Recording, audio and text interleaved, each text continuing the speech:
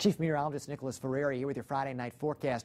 We're looking at some strong and severe storms moving across the region tonight, bringing the potential for wind gusts 60 to 70 miles per hour.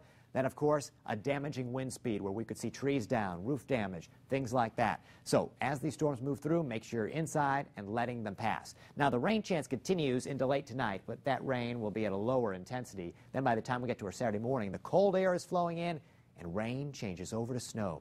Snow showers on and off throughout the day. Not really looking at any accumulation here, but we could have some slick spots as the snow melts on the roads. Could also see some reduced visibilities as the snow comes on down.